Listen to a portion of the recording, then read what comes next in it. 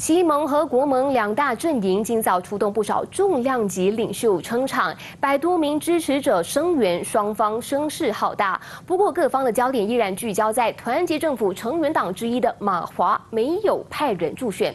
国政主席纳杜斯里阿莫扎西希望盟友能够改变立场。更多详情，我们马上联系人在提名中心采访的本台记者肖子慧。子慧，今早的提名日的情况是如何的呢？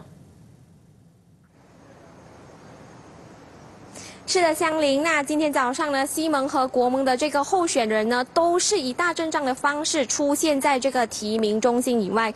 那作为团结政府成员党之一的这个国政和乌统呢，包括了这个呃国政主席南都斯里啊阿莫扎西和乌统的总秘书阿斯拉夫都有现身，还有跟呃连同其他的国政支持者到场为行动党候选人彭小桃加油打气。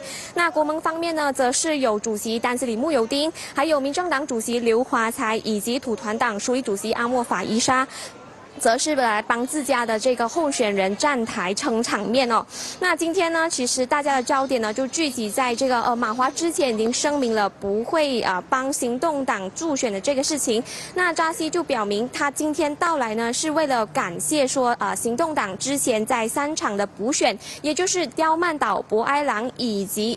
呃，甘马碗的这个选举当中呢，帮助国政站台。那今天呢是时候报答对方的这个恩惠，所以呢，他今天就连同了这个支持者到场。那针对马华呃不。帮助竞选的这个事情呢，呃，阿莫扎西就表明他明白马华的这个感受，不过还是希望马华呢可以改变心意，帮助行动党赢得这一次的补选。而且他相信马华区部和支部呢对呃竞选的机制没有太大的问题，因为马华和乌统呢情深意重，因为早在一九五五年两个党呢就已经结盟组成国政。呃，直到现在，所以呢，他认为马华会和国政呢一直保持着同一个阵线，并且支持联盟所做的决定。Ya kita memahami perasaan mereka, tapi insyaallah bila kedinginan akan menyeliputi perasaan, saya fikir suasana akan berubah. jangkaan akan ada di minggu kedua kita tidak menjangkakan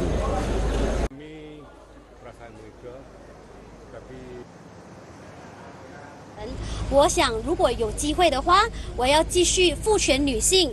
赋权年轻人，我希望更多的年轻人可以在地创业， 然后搞好这边的生态旅游，还有呃民生创业，让更多的人可以留在新古毛。我们要把新古毛激活起来，让这里更加充满活力。就想要从一个年轻人的角度来帮助在地的呃年轻人一起成长。怎么样帮助？就从他们的教育方面啊发展。啊，完了，古巴路的经济之类的，然后还有我，想要从运动方面来帮助他，就从他们的教育方面。是的，没错。那其实除了扎西呢，行动党呃秘书长陆兆福也有针对呃马华今天没有派出这个竞选团队助选的事情回应。那呃陆兆福就表明，呃行动党呢非常欢迎任何的这个成员党。接下来呢，可以帮忙助选，但是如果还是有一些政党不愿意的话，那行动党呢也不会强求，而是选择尊重对方的这个意愿。那刚刚大家也听到了这个其中两名啊候选人的这个竞选的宣言，那他们两个人呢都是打出了这个发展和经济牌，表示呢如果他们当选以后，会极力的帮助在地和在呃当地以及在外地打拼的这个年轻人回到这里更好的发展。那另外点呃，还有一个最大的亮点就是今天呢，提名日结束以后呢，国政和呃国盟和西盟两党呢，虽然没有直面的这个冲击，但是国盟先是喊了自家的口号，之后呢，西盟就再回到自己的口号，但是突然有人大喊了要拒绝呃这个。盗呃盗盗盗贼，所以之后呢，国盟也就是以木薯这两个字回击对方。那好的，以上是记者在现场掌握到的最新消息。那还有更多的详细内容，可以留守今晚八点的新闻。先把时间交回给香玲玲。是的，非常感谢子慧从新古猫捎来的消息。